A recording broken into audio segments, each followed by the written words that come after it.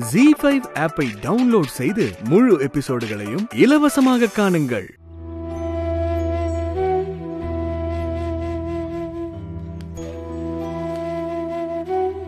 சரி சீதா வர்றேன்.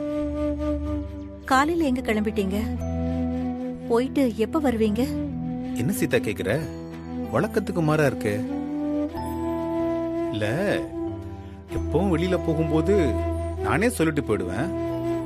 சில நாட்கள்ல சொல்லாம போனா கூட எங்க போறீங்க? எப்ப திரும்பி வருவீங்கன்னு நீ கேட்க மாட்டியே. முக்கியமான வேலையா எதுவும் போறீங்களா? நான் தப்பா எதுவும் கேட்டேனா? இல்ல. எப்பவும் இது மாதிரி நீ கேட்டது இல்லையே. அதான். அன்னைக்கு அப்படிதான். வெளியில போகும்போது சொல்லாம போயிட்டு வரும்போது சாப்பிட்டுட்டு வந்துட்டீங்க.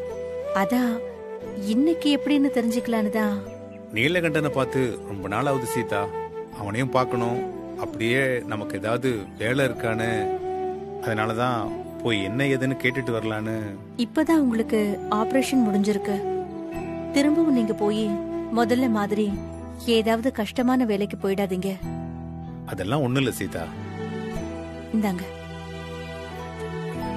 இதெல்லாம் எதுக்கு சீதா?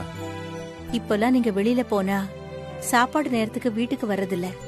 எங்க இருந்தாலும் மதியம் சாப்பாட்ட ஒரு மணிக்கு சாப்பிட்டுட்டு மாத்திரைய ஒழுங்கா போடுற வழிய பாருங்க. அம்மா நீ எங்க போற? நான் எங்க போப் போறேன்? சீதா உன்னை பத்தி எனக்கு தெரியாதா? எங்கேயோ வெளியில போற. மத்தியானம் இருக்க மாட்ட. அதனால தான் இந்த சாப்பாடு மாத்திரையெல்லாம் கட்டி கொடுத்துட்ட. சரியா? அது ஒண்ணும் இல்லைங்க. நம்ம துர்கா இருக்கால்ல அவளை பார்த்து ரொம்ப நாள் ஆச்சு அவ பிள்ளைங்கெல்லாம் வெளியூர் போயிருக்காங்களாம்.